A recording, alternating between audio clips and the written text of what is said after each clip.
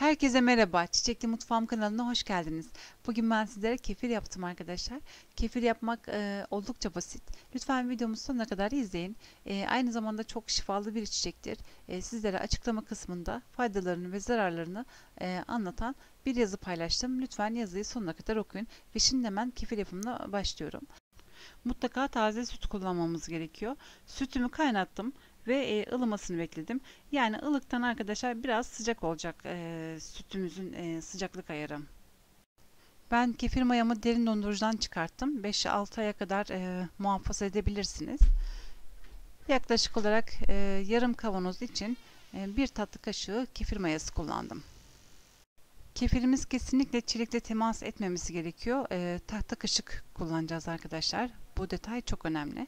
Yani bana öğretildiği gibi yapıyorum. Hiçbir şekilde şimdiye kadar bir sorun yaşamadım. E, çok kez yaptım kefir ve e, mayam çok e, kaliteli bir maya. Sürekli çoğalan bir maya.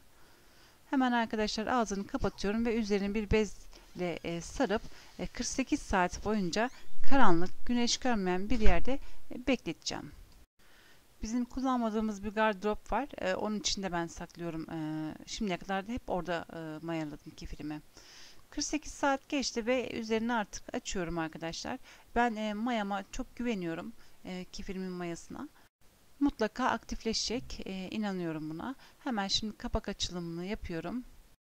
Arkadaşlar kızımda e, iştah sıkıntısı vardı. Biz o sayede yıllar önce kefirle tanıştık ve çok faydasını gördük. Çocuklarda çok iştah açıyor. Bilginiz olsun. Eğer böyle bir sıkıntınız varsa mutlaka e, kefire e, evinizden e, kefiri evinizden eksik etmeyin. Görüyorsunuz arkadaşlar tahmin ettiğim gibi kefirim e, oldu. Hemen şimdi süzgeçte süzüyorum.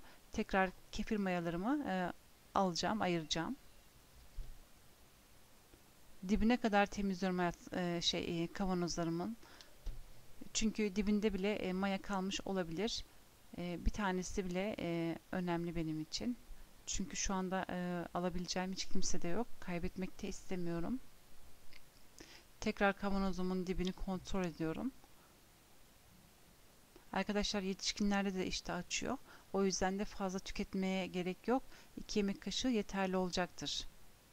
2 yemek kaşığı, 3 yemek kaşığı yani saymakla bitiremediğim faydaları var. Hepsini sizlere yazacağım. Burada hepsini anlatsam e, dakikalar yetmez.